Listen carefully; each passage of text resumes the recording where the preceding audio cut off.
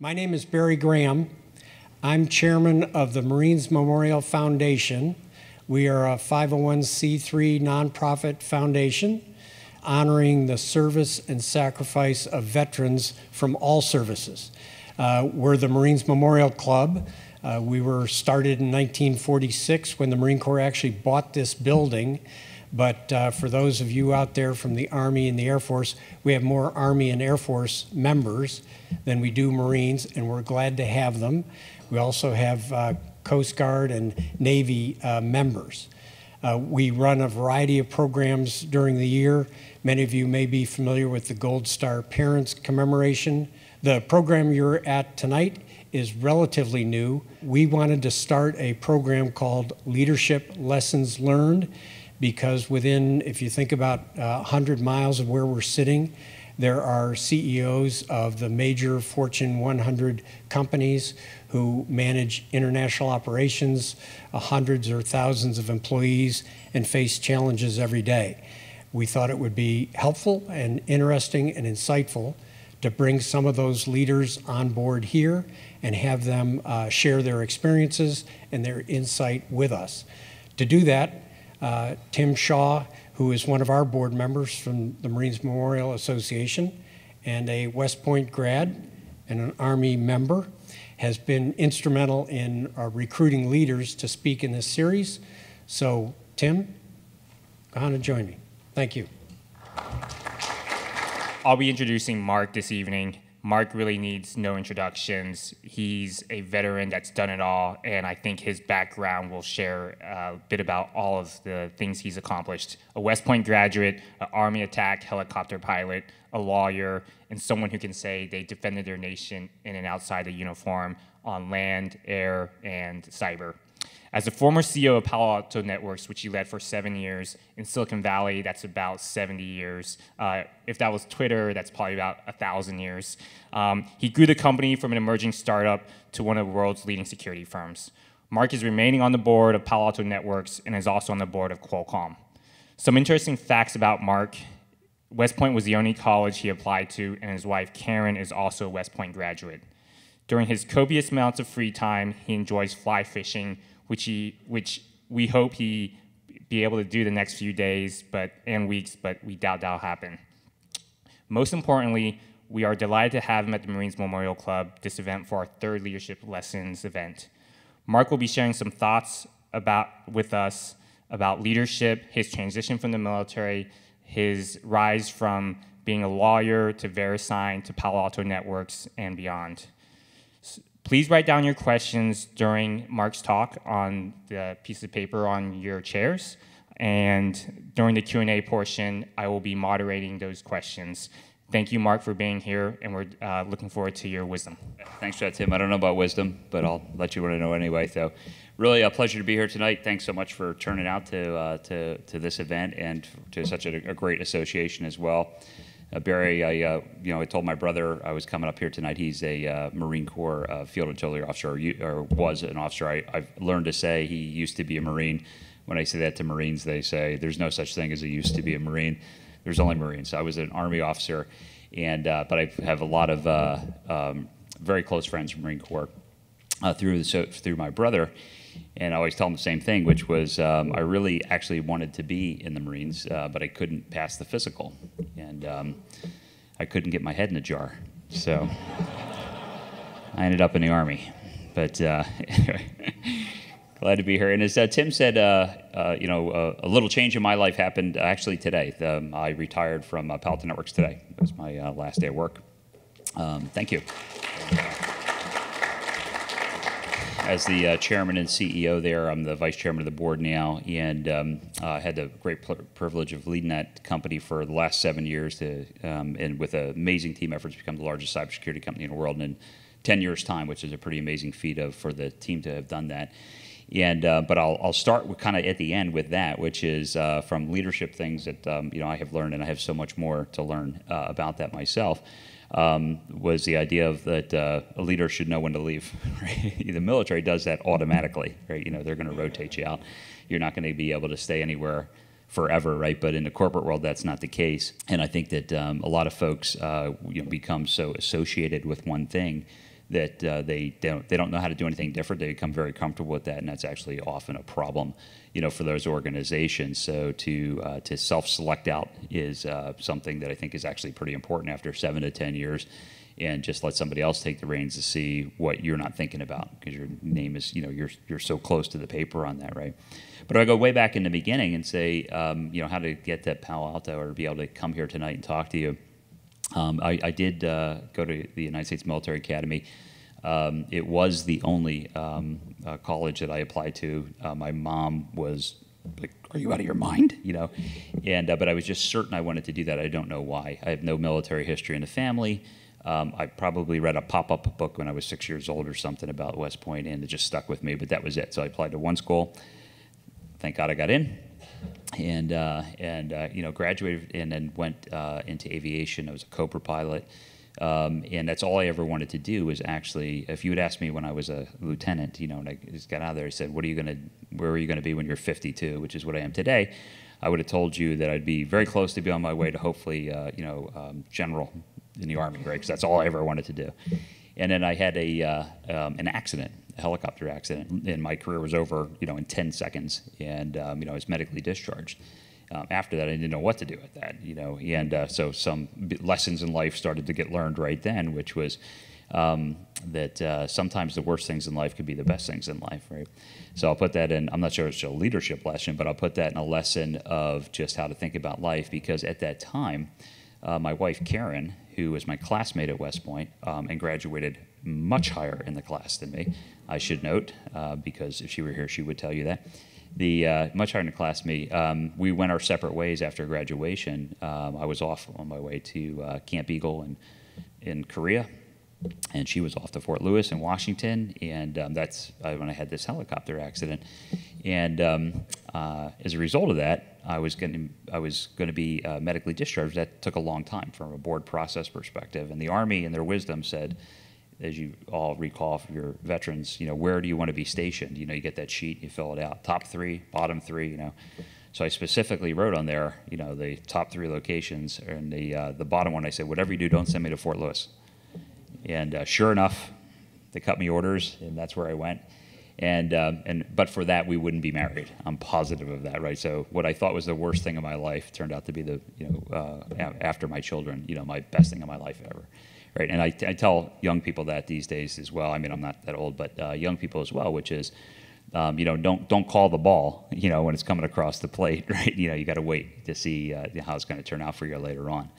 But I got out of the service or was discharged from the service, uh, didn't know what to do, and uh, so I decided I would become a lawyer because, you know, why not, right? I didn't have any hankering to really be a lawyer, you know.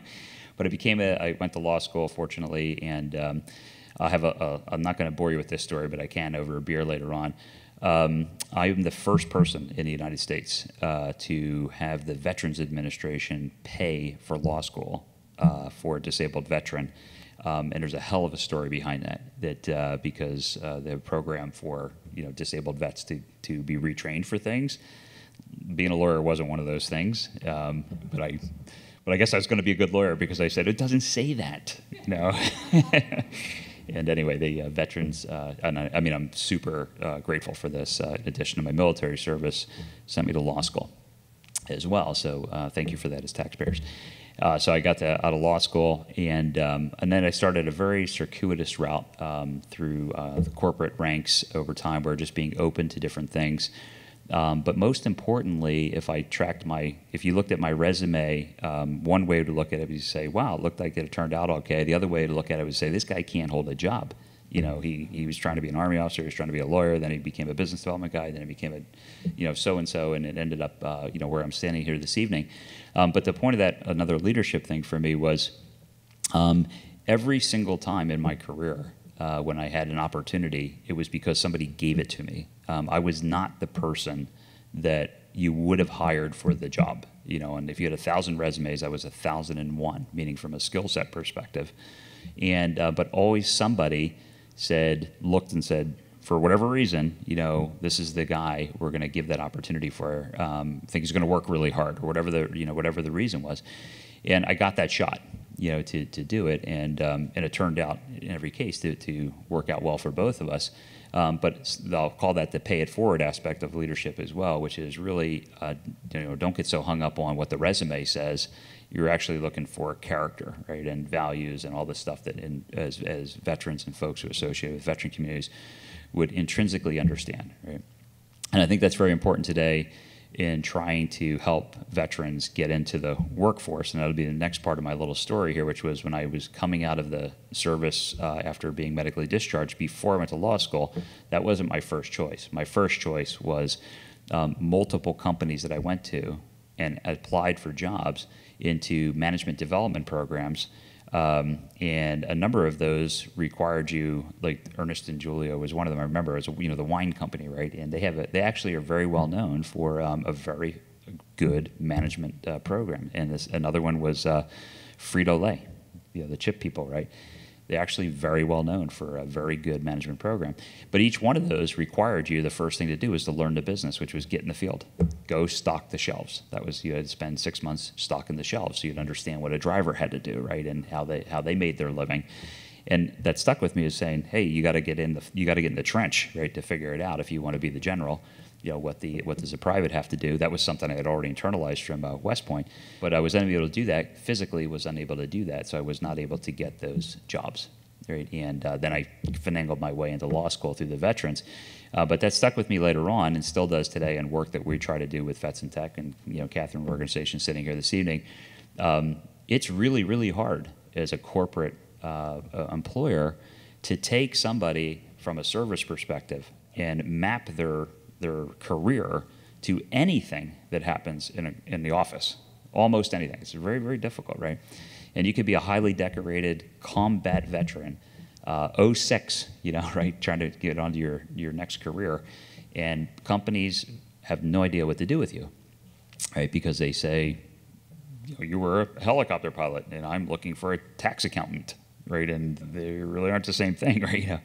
So trying to, what I learned personally about that was um, mapping your, you know, what your skill sets are from a, a, military perspective into the corporate world is extraordinarily difficult. And the, the fallback position will always be, um, you, do you have the right stuff? The things that the military is known for. You're probably going to get somebody who is uh, ethical, honest, a hard worker, mission oriented, uh, will will die on the front steps before they'll give up the mission, you know, kind of uh, attitude. And that's what we really have to try to get people to think about because I went through that myself. So I really think about that on that pay it forward aspect of what can we what can we do about that. And if I keep going a little bit further, um, there's a lot of things um, that uh, that I was taught at West Point. Um, and that you you may have been taught in the, in the service in different places at different times um, that I actually had no idea what they meant until kind of recently, you know, when you get to be the CEO of various things, right? Just I'll call it the further up you go on the ladder, right?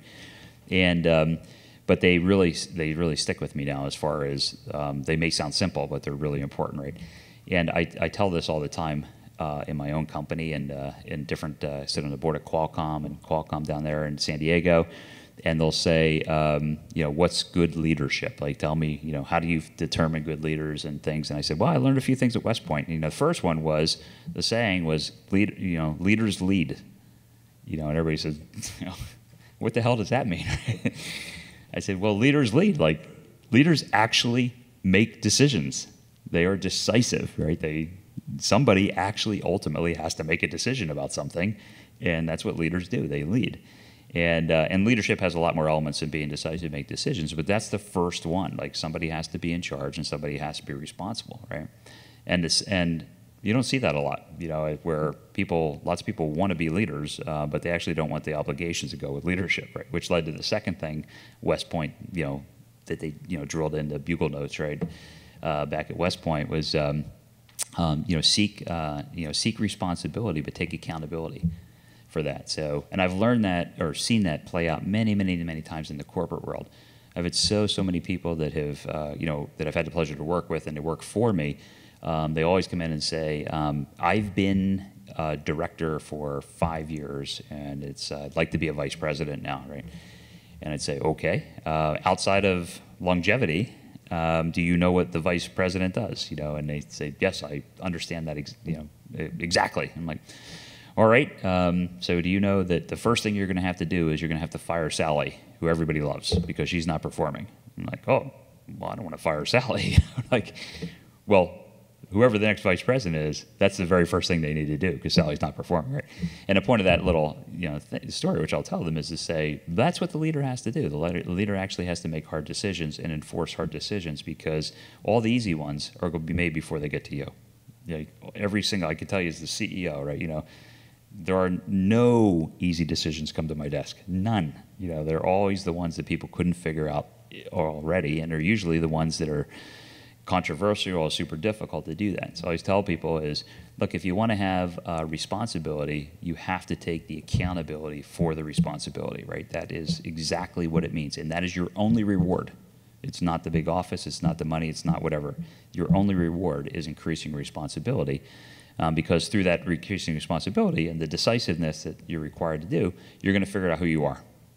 And that would be the third point, right? Which is, um, um, I think good leaders um, over time are really defined by very basic concepts. No matter how many leadership books get written, you know, it always comes back to the basics, right? Are you are you honest? Are you authentic? Uh, do you care more about your people than yourself? Um, you know, for those who were in the army, you know, you'd always say, you come off the field exercise, right, or you come out of combat, first thing you do is take care of your equipment.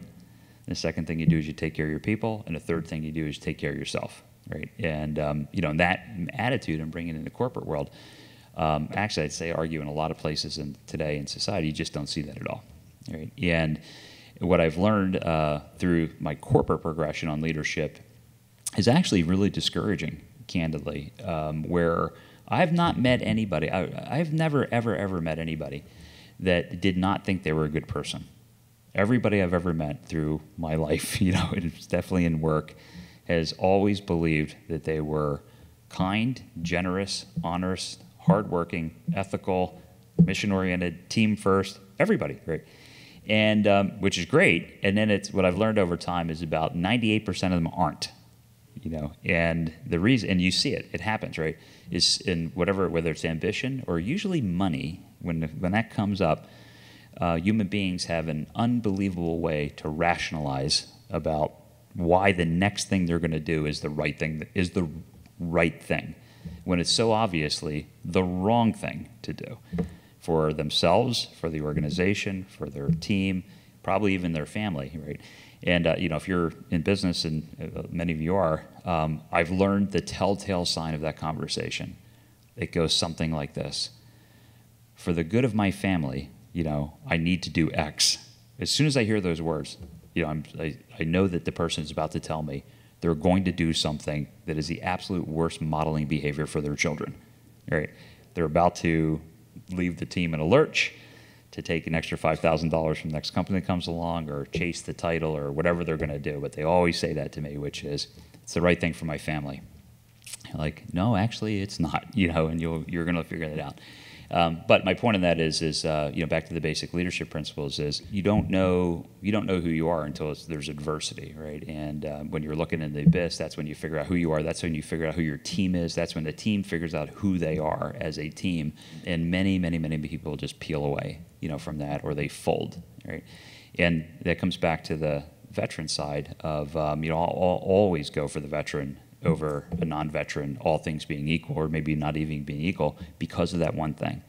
It's not a guarantee, right? But I'm pretty sure that um, when the shit hits the fan, right, that that person is not going to uh, run for cover. They're not going to point fingers. You know, they're used to being there to cover their teammates back, right? And uh, that's a, a, an unbelievably important lesson. I just think in life, whether it's corporate, military, it doesn't really matter. One to hope that I would be able to impart to many people that I've had the chance to, you know, work with over time, um, and and anybody else who's willing to listen to that, right? So those are kind of the basic, uh, you know, things I'd say. 52 years later, you know, in my life, and uh, you know, 30 years after West Point and um, and this corporate career, um, I could probably boil them down to just those few things I just told you, right? And uh, everything else is. Everything else is not so much that it's noise, but it's a takeoff of some basic ideas, right? And those basic ideas I don't think are ever going to change. And uh, you know, the military doesn't have a lock on this.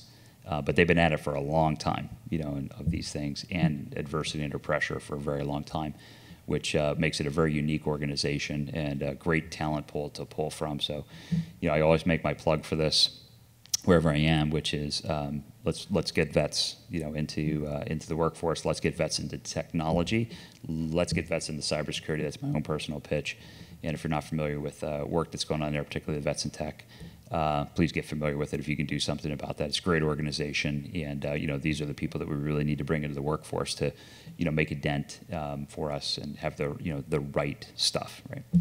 So let me. Uh, I'll stop there. Happy to talk about anything you like, questions, any uh, rumors, anything that uh, you know might be interesting. You probably have a very good pulse about cybersecurity in this nation.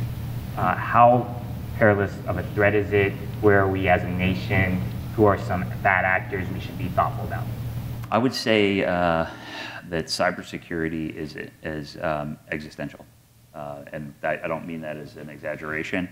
Uh, I think Paul Nakasone would tell you the same thing, and uh, Keith Alexander before him would have said the same thing, and Mike Rogers and other people I've had the pleasure to you know, work with over the years. Uh, what I mean by that is, um, if you think about um, the age we live in, you know, the uh, people will call it, you know, the fourth industrial revolution.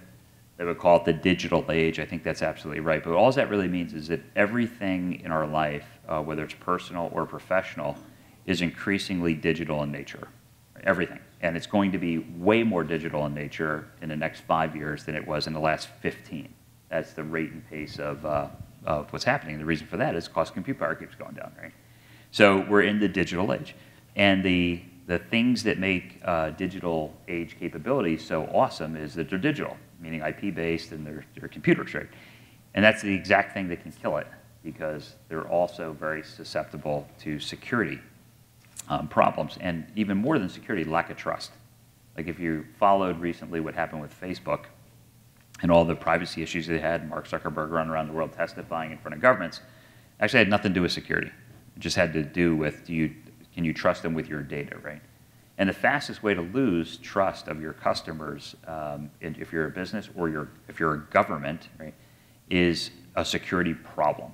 So if you've been, um, if you were uh, in the um, OPM database, as I was, right, and probably many of you are, um, you know, that's a problem, right? That's probably, I, I, think that's probably the big, the single biggest national security issue we've had in the last 10 years. We just don't know it yet, uh, but it will be. It'll be that later that'll turn out to be the big, single biggest national security issue we've had.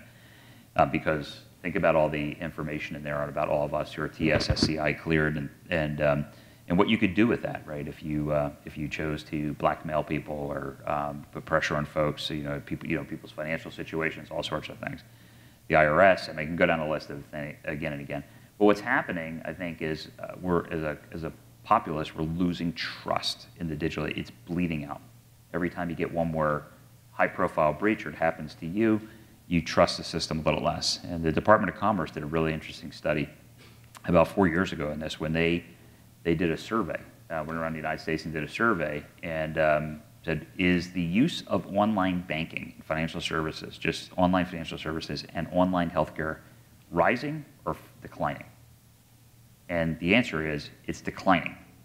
Now, that may seem super counterintuitive to all of us who live in Silicon Valley, right? And all we ever do is do more, you know, you don't even pump your gas anymore, right? The truck comes and you have that app, you know, yeah, yeah, exactly. You don't have to go to the gas station anymore, right? And, um, you know, but it's, it's declining actually. And the reason for that, number one reason is trust, where people said, I don't want to, I'm going to lose all my information and I'm going to be held hostage for these things, and those things are true. So the, the, the point I'm making that existential is um, that if we don't figure out how do you get security transformation with digital transformation, we won't have digital transformation. And if we don't figure out how you get digital transformation at the rate and pace that's happening right now, we're in a world of hurt because it is the only thing that can keep GDP growth going at the rate that it has to grow for population growth. And if you're in China, you need to bring 1 million people a day every day out of the rural environment and put them into, uh, into the uh, middle class, right, or lower middle class every day. And the only way we're going to do that is technology, and it's the same for even uh, more industrialized nations like that. So if we don't figure that out, uh, the impact on GDP uh, will be staggering. It will make the Great Depression look like a cakewalk, right? And all the social unrest that will be associated with that you can imagine, will be just chaos, chaos. So it truly, I think, really is existential. And if I could keep going on one other point, because uh, there's uh, something that's being discussed right now that I'm actually leading um, as part of uh, the National Security Advisory Council, which I sit on for the president, for the for the Obama administration, now the Trump administration. I'm chairing uh, the concept of a cybersecurity moonshot, which is the key off of Kennedy's uh, moonshot, which was, you know, we're going to go to the moon and bring a man back and alive, right, by the end of the decade. And uh, the idea of the cyber moonshot is we're going to make the internet safe in 10 years. Uh, because whether they can do that or not, I don't really know, right? But the point is, it's a very ambitious goal and one that everybody would understand. But if we don't actually start to think about security as an existential issue where we can say we actually think we can make the internet safe in 10 years, it's going to be a problem because coming from the industry, and I can tell you working in the government, lots of good stuff is being done. It's all incremental. It actually doesn't matter, you know, at the big picture, right? And if we don't think about things entirely differently as a nation about are we going to own quantum computing or not? Um, what are we going to do about our education system? If we actually want to make the internet safe and take this as existential threat, what will we do with STEM education, right, in this country? We would do things entirely differently. What about supply chain integrity? You go to the White House, you know, or you go to the department, you, you go down to the Pentagon for a meeting, you take your phone out of your pocket and you put it in a wooden box, and then you leave it outside and you go into the meeting. Why? Because not one single component in an iPhone is manufactured in the United States, right? It is a listening device. You should assume it is always listening, even when it's off. That's exactly what the government assumes. That's why you can't take it in, right? And it knows where you are. That's all stuff. You know, it's it's live, whether you think about it, whether you think it is or not, right? So we would, what would we do about supply chain management? We would actually subsidize entire industries that we've offshored for cost reasons, semiconductor. And um, I sit on the board of Qualcomm. I can tell you, you know, from personal experience about that, right? For cost reasons, we've allowed every important aspect of supply chain. Um, when I say supply chain, I mean components and important things, weapon systems, telecommunications technologies, satellite systems, right? Um, almost none of them are manufactured any longer in the United States. So if we were serious, we would actually subsidize those industries. We'd bring them on shore again, right? Or at least part of them to do that. And I can go down I keep going down that list about if we were serious, this is what we would do. We're not serious yet and everybody's waiting around for whatever that meltdown is, you know, and then, then they're going to get serious, and then it's going to be chaos, right? Because that's when the government comes in after something really bad happens, and they start regulating, and you know, it's exactly the wrong time to be thinking about it, right? when you, when the uh, the balloon is gone, the cyber balloon has gone up, right? And, and to peel that onion a bit more, in terms of threats, is it the Cambridge Analytica? Is it uh, nation states? in terms of like the audience, like a lot of us went through 9/11 as like unconventional warfare. Is it you know asymmetric threats, or do you see it as country international threats? I think it's asymmetric, and um, um, it's asymmetric, and it is the weapon of choice, obviously today for nations. Uh, if you look at a country like Iraq or Iran, for example, uh, they're not wealthy nations, right? Uh, North Korea is far from wealthy. Um, it's not hard to master the cyber domain. It doesn't actually take a lot of uh, resources and money. It certainly takes a lot less resources and money than it does to build a nuclear weapon and, you know, and the ballistic capabilities to deliver the nuclear weapon. So that's why everybody's going to cyber as the, as the main weapon of choice for disruption, to be able to disrupt uh, um, banking systems, to be able to disrupt elections, right? Very interesting for security. Um, and back to this trust concept, is when you're trying to do something bad in security, you're dealing with data, right? You don't even actually have to do something to the data. If you think about it, you don't have to steal it. You don't have to destroy. You can, right? And that, that's very bad. All you have to do is create the impression that it's not accurate. It doesn't matter whether it is or you know you don't have to. So if we if you know for example if I said everybody take out your phone right right now if you online banking and check your bank account right and it said and you have a $1,000, right? And then I said 10 minutes later, everybody check out, take out your phone and check it now. And it said you had $5, right? Whether you actually had a $1,000 or $5 or not wouldn't be the issue. The issue would be the, the impression that you did, right? And this meeting would end and everybody would be outside and what, you, what would you do? You would, every single one of us would be at an ATM machine trying to put our hands on something, right? Something not digital, physical, money, right? And uh, that's called a run on the banking system, right? So if you want to create a run on the banking system, all you have to do is create the illusion that it's not working, whether it actually is or it isn't, right? And that's the uh, that's part of the aspect of uh, digital or cyber warfare is just the ability to uh, manipulate the integrity of data, not even the data itself. And that's even easier than manipulating data itself. It's just the integrity. We don't have to look much further, I think, in our country and look at the uh, the elections and the whole idea of you know the Russians had anything to do with the elections, and we're still we're still you know it's still happening, right? We're still fighting that fight, um, right or wrong. We still are, right? And uh, the Russians are sitting back there saying, "Huh, that was easy, right? Look at everything. I, look at all this turmoil I created, and uh, and they have an organized they have an organized um, group of folks. That's what they're doing. They're trying to just create the illusion that the that um, democracy doesn't work, right? So if you don't think your vote counted, then that's a real problem, right? And that's, and that's easy to do from a cyber perspective. So that's the real issue is the integrity of, of the data, um, even, even more than the data itself. Uh, the military and Bay Area, and I would say cybersecurity, we love acronyms. Uh, and a couple questions uh, from the audience mentioned AI, uh, natural language processing, um, ML. uh, machine learning. Yep, there you go. H- how will that impact cybersecurity? And, it, and is it a silver bullet? Yeah, uh, uh, all of the, well, uh, there's, there's something called artificial intelligence, right? And then everything else is a subset of artificial intelligence, including machine learning and natural process languaging and all these things. Uh, but the, what that means is um, the ability for machines uh, to become more intelligent, right?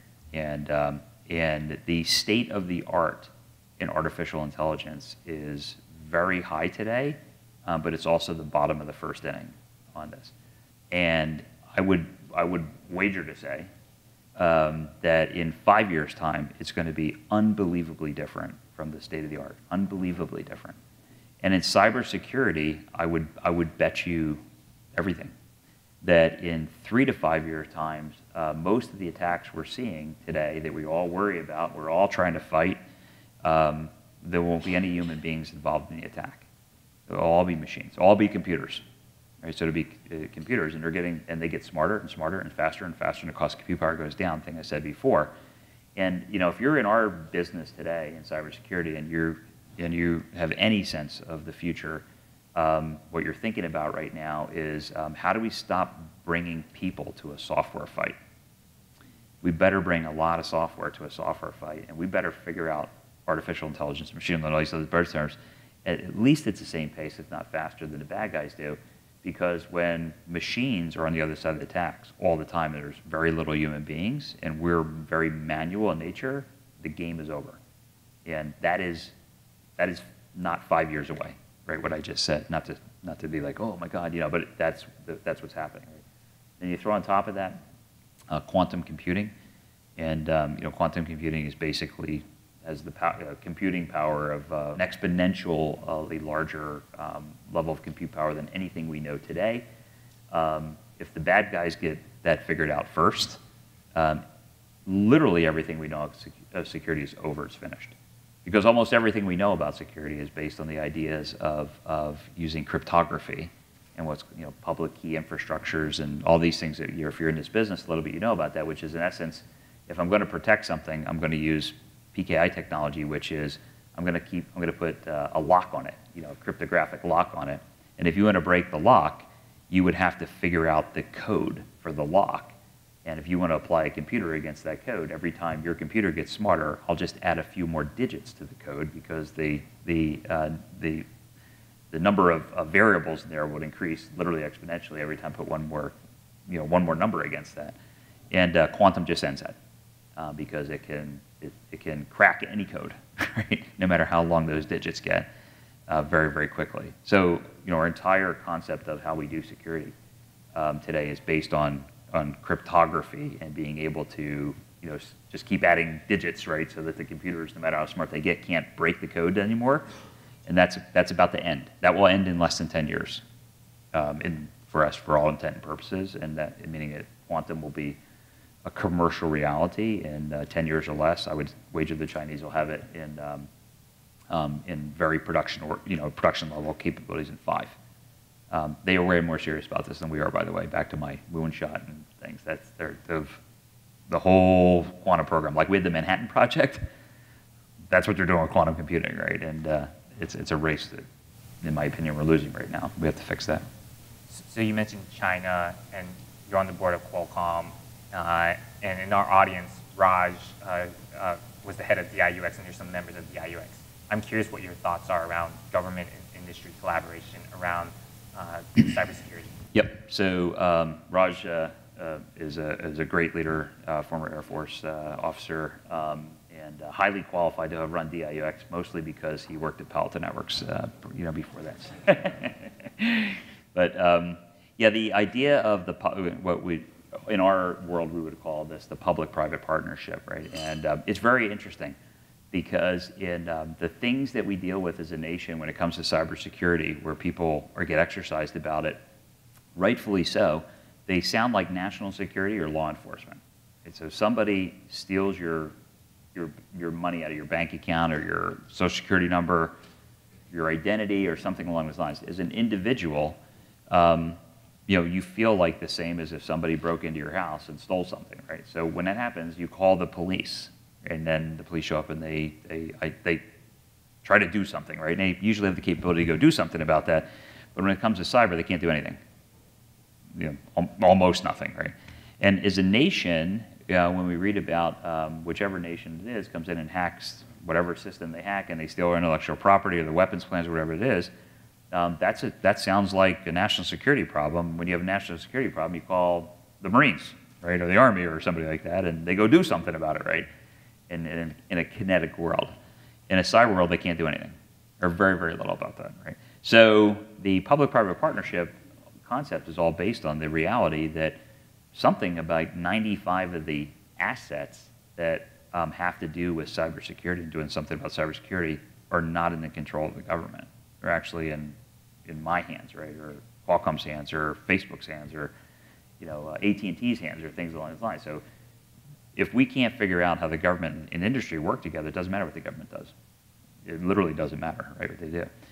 I think there's something very interesting. I would, I would bet you, right, if I go back to the, if we don't sort things out much faster than we are and take things seriously, um, I would also wager to say that we will see a massive cyber event. Um, people like to talk about digital Pearl Harbor all the time. I actually don't think that's the biggest problem for us. I think it's just all this trust going away, like I said before. It's a more subtle problem. But we'll see a big cyber issue someday, right? Who knows? A terrorist, you know, a cyber attack, maybe maybe a nation state attack. It's all cyber, and um, and when it happens, um, it would be, in my opinion, very likely that the next step that the government would do, because they have no, they've done no planning for this in advance, um, I think, which I think is a real shame. Uh, they will nationalize assets. Uh, they will nationalize for a period of time. They're going to nationalize the ISPs, the telcos, uh, anybody they can get their hands on, right? Because they're going to say we got to do something about this, but we don't have we don't actually have the assets as the government. We can't fire the missile, right? And they're going to come and do that. That's why I say this will lead to terrible this will lead to terrible um, jurisprudence and terrible regulations and all these things I mentioned before, because that's what they're going to do, right? it would be way better to figure it out in advance. And, it, and something that the NSTAC, this body I've served on for 10 years um, in DC, one of the studies we did was actually called IT mobilization, which broached the topic, which was very controversial, of creating the, um, the legal structure for that to happen. So that if the cyber balloon went up, we were at war. Nobody doubted, not kinetic war, cyber war. Nobody doubted that, right? Everybody agreed with that. Uh, what would we do? right? When the government said, how would we defend against that attack? We, we should plan for that. And we have some, actually some history in our country that we've done research on. And on uh, there's only been a couple times where that's been thought about before and exercised by the government. One is the merchant marines, right? And that's probably the most relevant one, which is uh, merchant marine was created uh, because this was a similar concept nobody would want the United States Navy or, uh, or the Coast Guard to um, own all the ships, all the commercial shipping. That would be a really bad idea. Um, so they didn't, but they said, but you know, we might need those ships someday, right? in a time of a crisis. So they created the entire idea of the merchant marine back in the 19, um, 1930s, and um, they created the they created the legal authority to basically nationalize all the shipping in the United States when we need it. And then they created um, the hierarchy. They created Merchant Marine Academy, right? And every and most of the folks who are in the commercial in, uh, shipping industry actually are in the Merchant Marine. They have rank and structure, and they practice. It's not their full-time job. It's like the National Guard, right? And only two times in the history of the United States has that actually been um, used.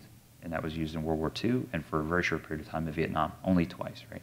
But using that analogy, saying maybe we should have that same kind of concept in the United States where we know what the assets are we would need, we leave them in commercial hands, we create, um, maybe we use the National Guard for this, I don't know, right? We create the structure that's out there where people who are in the, on the civilian side, they actually train with their government counterparts that in the event of an emergency, this is how these assets would be organized under a U.S. government authority for a short period of time to be brought to bear. Maybe we would have a, maybe we'd have a, our newest military academy, right, to, uh, to train folks, um, to create the core cadre, uh, as we've done with all the military academies. They, they graduate very, very, very, very few percentage of the, uh, the folks who actually go on active duty, uh, but that is the core, has been in our entire country's history of the officer cadre on, um, on, on everything else, right? So lots of interesting ideas in there that, that we really need to think about as a nation, again, if we were serious about it. Yeah. There were a couple questions from the audience around China, and just today in the New York Times uh, talked about how there was Chinese tech firms, Facebook, and uh, they were potentially getting Facebook data. Uh, and I know this is a sensitive subject given uh, Qualcomm and Broadcom, but as, as much as you can comment on, um, how does uh, trade with China, uh, consideration of Chinese nationals working in technology, Chinese sourcing managers for U.S. firms, how does that impact given China's rise in technology? Yeah, uh, super difficult problem, right? Uh, and we're dealing with it all the time in, here in Silicon Valley because we have such an, a deficit of um, skilled individuals, uh, particularly in software coding here, right? So, um, you know, a giant, a giant part of the Silicon Valley magic and engine is um, is immigration. Um, so we need that, right? Um, and because we're not doing it on our own, right? yeah, so we have to do that. Um, I, I can assure you uh, that other nations, some other nations, um, have entire programs um, that today, you know, or, if we were sitting here 30 years ago, we would have called them, um, you know, spy programs or something along those lines, like deep cover, you know, kind of stuff. Um, that they are training folks uh, who are uh, software experts, cyber experts, um, and they they go deep cover. Uh, they have they look just like normal people, right? You know and uh, and they're they're sent to the United States to come work at uh, all the companies in Silicon Valley, and they and probably should assume they are, and there's they're either active or sleepers, and you know they're siphoning off uh, tons of, of information. Um, I would I would I would bet you that's happening right now, and uh, so you know you have to start with um, your own people. Like, do you even know who works for you, and can you trust them? And, and then you start to get into a whole host of other things after that where I talked about supply chain, and I think we should be actually pretty nervous about that. And then there's also real, another really interesting aspect, particularly with China, which is China's a very big market. It's got a lot of people, right? And a lot of U.S. companies do a lot of business in China. And the more business that you do in China, the more dependent you become on the Chinese market for your business. And the more dependent you come, the more likely you are to say yes to things, you know, when the Chinese start to, or the Russians, even a better example, right? They don't have the same kind of market power. But when they start to say, if you would like to do business any longer in China, let me tell you what way it's going to be.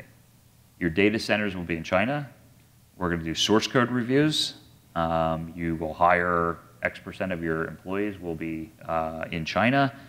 Um, and, and, and the list goes on and on and on. And it's not overnight. It's been a very, very gradual you know, process where you can look around today and say, there are a lot of U.S. companies, important U.S. companies, that um, if the Chinese tomorrow said, you can't do business here anymore, or you can't buy components any longer from our country, they'd be dead, literally dead, you know. And uh, that's a that's a hell of a position to be in, you know, as a CEO, right? To say, you know, the next time that the, the, the, the, next notch that goes up on whether it's Russia or China or whatever market you're trying to be in, where they say, let me tell you what it costs to do business here on, from a cyber perspective and intellectual property perspective, it's you know increasingly difficult for people to say no.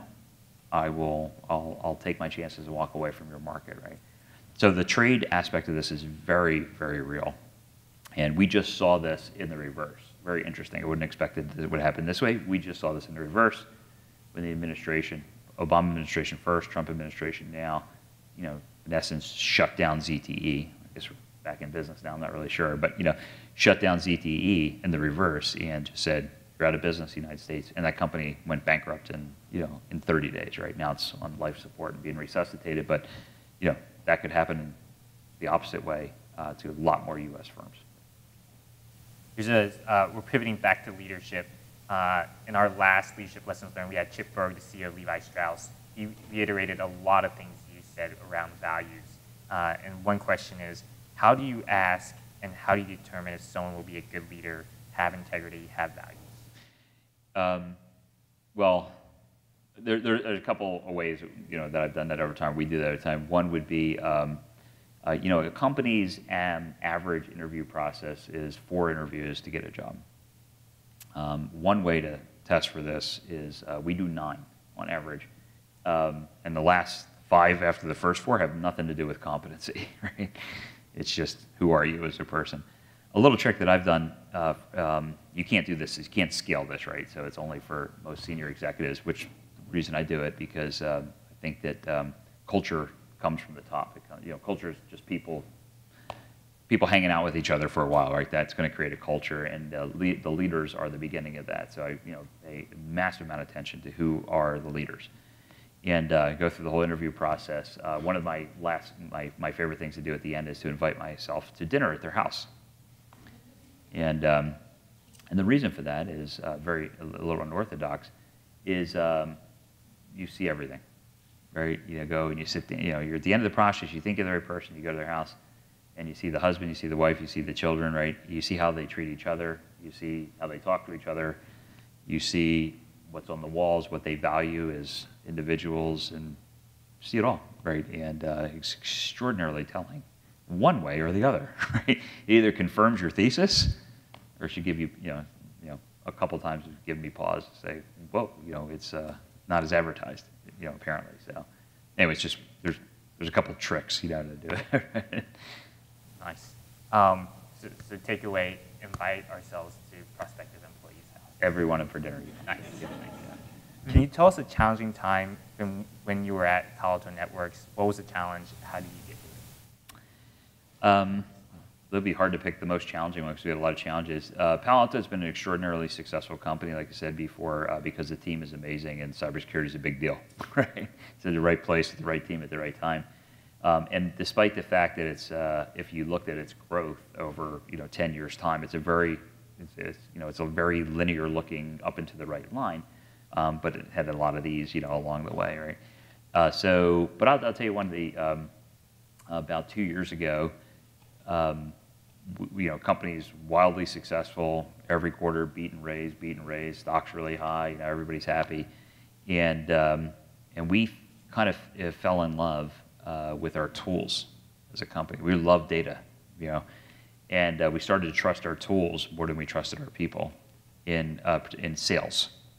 And our data was telling us all sorts of things that if you if you turn the knob to the left 12 degrees, um, with this, uh, you know, in sales to do this, you'll get 2% more productivity from each salesperson. And, and, we turned the knob to the left 12 degrees. And it turned out actually the tools were, uh, were wrong on things that, you know, the, the subtleness of human interaction couldn't find. And, um, and we missed a quarter, which is, as a public company, that's, uh, you know, danger close, right? That's a problem. And uh, so we missed a quarter. We got clobbered. Stock went down 35% in 24 hours. Um, all of a sudden, we went from the greatest company in the world to um, these guys are a bunch of idiots, starting with McLaughlin. And, you know, everything's terrible. The whole thing's falling apart. And then you're dealing with morale issues and all sorts of stuff.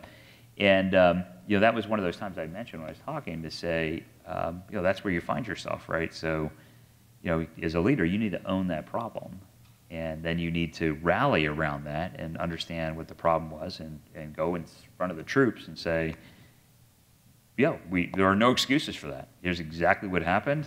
That's it's it's entirely my fault because all those things have to be somebody's entirely fault, right? It's entirely my fault. Here's what we're going to go do about it. And um, if you and, and if you trust us to get it right, give us six months, give us nine months, we'll get it right. And um, in that case, we did get it right, more than right. Um, and and almost nobody left the company, even though it was all doom and gloom. Now, and I mentioned that one because um, the, you know there is a saying that's very very true, which is what, um, whether it's leadership or your or your reputation or your credibility, it takes the lifetime to build it up, right? And and that saying you can spend it in a second, you know. And uh, when it comes to companies and corporations or even you know military, um, you can spend years and years and years, and you should, you know, building credibility with the organization, with your shareholders, with your board of directors, um, on you're going to do the right thing every time, um, so that when the crisis comes, they're going to trust you. They're going to give you the shot to fix it.